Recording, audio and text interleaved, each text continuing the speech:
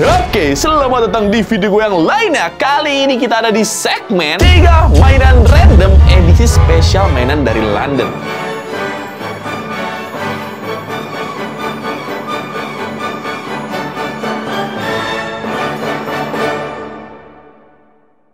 Oke, jadi ini adalah edisi yang spesial sekali Karena gua sebelumnya udah sempat spill di video gua yang gua keliling di toko mainan terbesar dan juga tertua di dunia Yaitu toko mainan bernama Hamleys yang ada di London, Inggris. Dan di video itu udah banyak banget yang ngeliat kalau misalnya ada satu mainan magic yaitu Zorbi Yang di mana kita bisa kayak semacam bikin dia melayang gitu guys. Dan penonton gua ternyata pada kepo. Gua pun juga sama sebenarnya. Jadi langsung aja kita review semua mainan-mainan yang gua beli di Hamleys itu dan kita masuk ke mainan pertama. Langsung ke mainan yang bisa melayang itu guys Oke, jadi mainan pertama adalah Zorbi Magic Flying Saucer. Jadi ini adalah mainan yang benar-benar mencuri perhatian kalian semua waktu nonton vlog saya yang ada di London, Inggris. Karena pada kepo nih, gimana bang cara dia terbang bang? Terbang, Bang. Gue pun juga sama penasaran ya guys. Langsung aja nih kita unboxing makanya. Kita selepetin kayak gini, kita buki ya guys ya. Dan ini dia penampakan Zor. Oh, udah nyala aja dia nih. Oke, jadi ini dia penampakannya guys. Dan yang nyala ternyata ini doang nih, karena sisanya kayak nggak ada lampunya gitu. Dan kita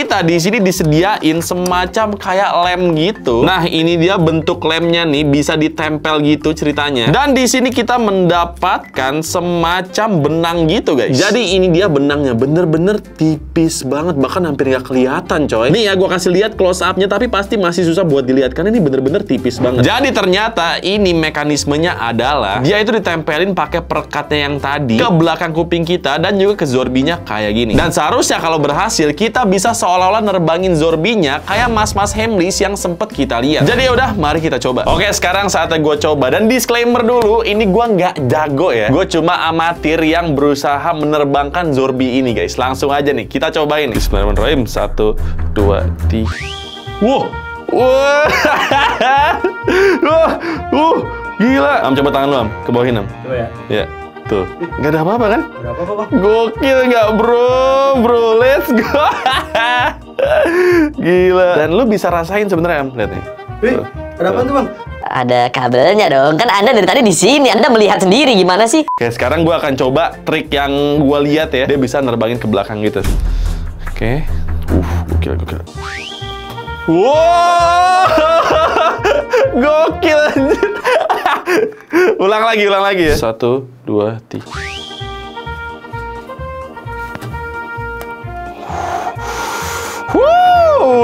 At that. Jadi itu dia Zorbi guys. Dan ini bener-bener seru banget sih. Karena gue berasa pesulap beneran gitu loh. Wow, that was so fun. Jadi sistemnya bener-bener gampang banget. Karena ini udah ada talinya sebenarnya yang nggak kelihatan. Jadi tinggal diangkat gini aja. Dan dia bakalan terbang kayak gitu. Cuma kalau dia cuma diginiin doang, dia nggak akan seimbang guys. Jadi harus sambil diputerin kayak gini nah kayak gitu jadi kelihatan terbang kayak gitu bro gokil gak sih Lihat tuh. Wow, wow, wow, wow. Goks, goks itu dia Zorbi guys. Tapi sebenarnya ya ada misteri yang belum terpecahkan yang di mana di video abang-abang Hamleys dia bisa nerbangin koin dan setelah dia ngelewatin koinnya pakai tangannya itu kayak kok bisa tembus gitu loh. Karena logikanya nih ya kalau misalnya gue melakukan gerakan yang sama, ini talinya tuh bakalan tuh lihat tuh nahan gue gitu. Jadi gue nggak bisa kayak abangnya gitu loh, lihat tuh. Oh, gak bisa coy. Jadi itu misteri yang masih belum terpecahkan sampai sekarang. Ada yang ngerti nggak sih? Yang ngerti coba deh komen di bawah. Karena gue bener-bener bingung itu cara gimana coy. Tapi kalau yang ini, gue udah masternya lihat tuh.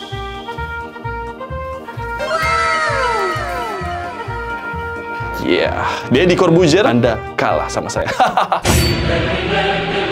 Oke, sekarang kita lanjut ke mainan kedua yaitu Jumanji Mini, guys. Jadi ini adalah Jumanji yang gue beli di Hamleys dengan harga 22 pound sterling. Atau kalau dirupiahin sekitar segini nih, guys. Dan buat yang nggak tahu nih, Jumanji itu adalah board game dari film Jumanji juga. Yang di mana ceritanya kalau kalian nemuin board game Jumanji ini, kalian bakalan denger suara dentuman drum gitu, guys. Dan di filmnya kalau kita udah kepancing buat mainin itu, kita bakalan bisa stuck selamanya di dalam game tersebut. Dan dunia nyata ini bakalan kedatangan berbagai macam makhluk gitu, guys. Kayak misalnya singa, badak, gajah, buaya, monyet, atau bahkan lu bisa jadi monyet juga kalau lu apes di game ini. Nah, ini adalah replikanya tapi versi mini dan gue jujur aja kepo banget buat nyobain dia. Kita lihat semirip apa sama Jumanji aslinya. Kita gunting satu kayak gini dan gunting dua kayak gitu dan kita langsung aja keluarin. Oh, uh, wow. Ih, gila sih guys, ini mirip banget sama aslinya, coy. Oke, jadi ini dia detailnya dan lu bisa lihat sendiri ini cukup mirip sih sama Jumanji aslinya coy. Cuma versi lebih mini aja. Dan ada tulisan pull to play, langsung juga tarik.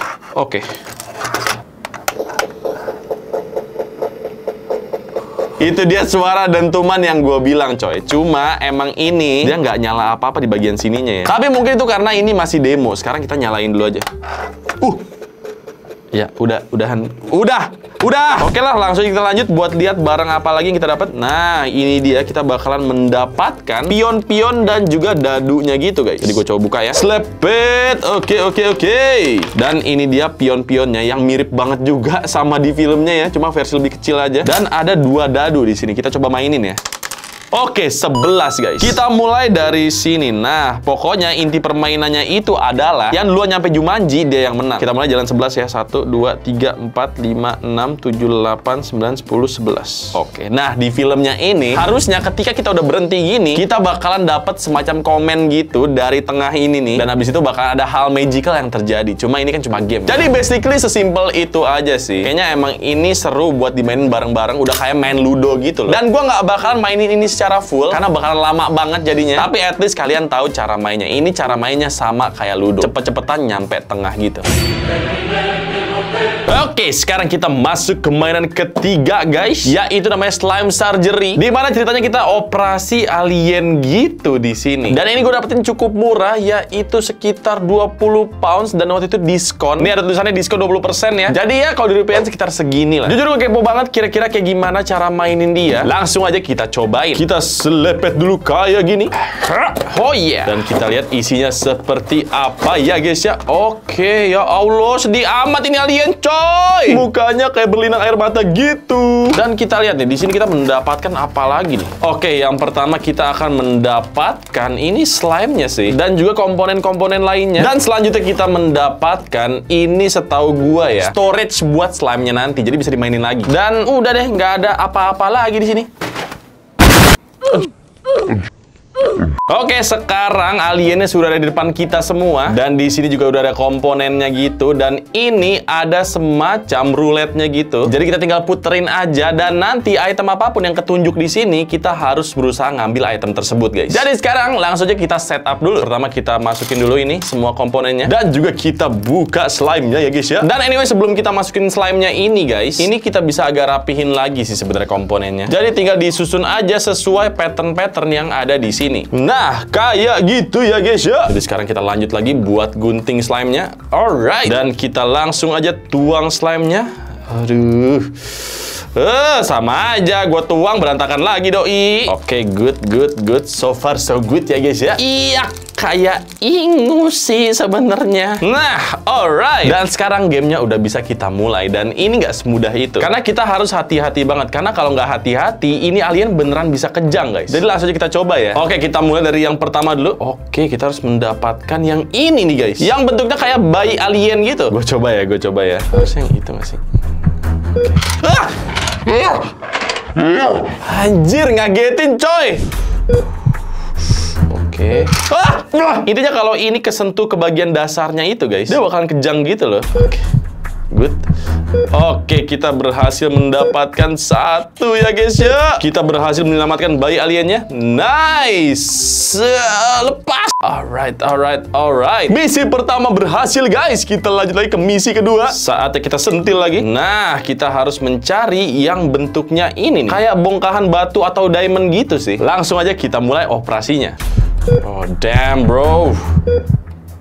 How, bro? How? Nice! Kita berhasil men... Maaf, alien. Oke. Berhasil. Oke, berhasil, guys. Berhasil, guys. Nice. Iya. Yeah. Oke. Aduh, ini mau praktek gak sih? Ini dia itemnya. Bentar gue gunting dulu. Gila, ini slime-nya bener-bener lengket banget. Wow, look at that. Kita berhasil mendapatkan item keduanya ini, guys. Langsung aja kita taruh. Nice. Misi kedua berhasil. Sekarang kita lanjut lagi ke misi ketiga. Langsung aja kita sentil-sentil dulu. Oke, ini kita harus mencari yang bentuknya kayak otak gak sih? Tuh, bener kan otak kan? Oke, langsung aja kita mulai misi ketiga. Oke, ini langsung dapat nih harus ini. Wah, wah mudah sekali nih. Mudah sekali, coy, coy.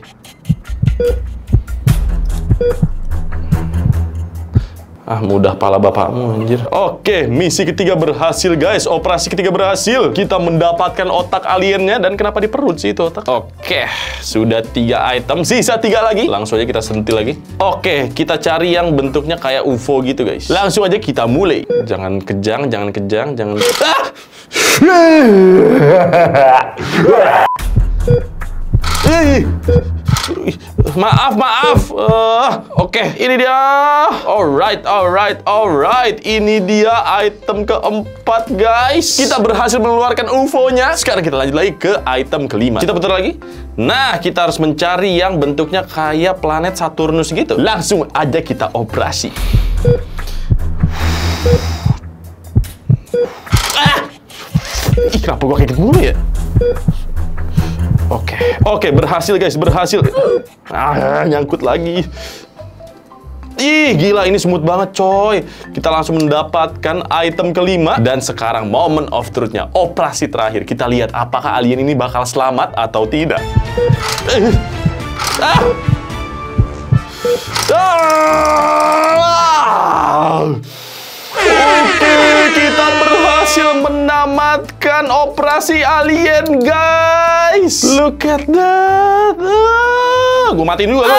Jadi itu dia cara mainin slime surgery ini. Dan ini cukup seru sih, karena lu bisa main gak cuma sendirian doang, tapi bisa berdua juga. Cara mainnya adalah lu tinggal main aja kayak tadi biasa. Tapi kalau ada satu orang yang kena kayak gini, itu dia harus gantian sama orang selanjutnya. Dan nanti kita bisa hitung hasilnya. Siapa yang berhasil ngambil ini paling banyak, dia yang menang. Jadi ini cukup seru sih buat gue. Kalau menurut kalian gimana guys? Ini seru apa enggak? Coba deh komen di bawah. Oke, jadi itu dia tadi tiga mainan random yang gue beli di Hamleys London. Yang pertama ada Zorbi ini yang bisa terbang tentunya. Yang kedua ada Jumanji ini dan yang ketiga ada Slime Surgery ini. Menurut kalian dari tiga mainan ini mana yang paling seru dan mana yang paling nggak seru guys? Silahkan diurutin dari 1 sampai 3 di kolom komentar di bawah. Dan juga seperti biasa buat kalian pengen beli, langsung aja terbang ke London sana. Shoo! Jadi paling sekian dulu video dari gua kali ini. Kalau misalkan suka jangan lupa di like, comment dan juga subscribe. Nama gue Medi Renaldi dan semoga kalian betah di channel gue dan ingat mainan adalah teman.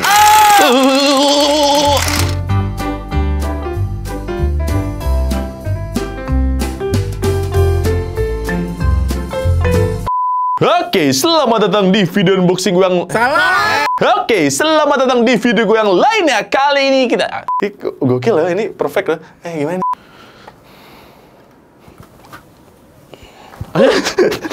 ah, kena lagi.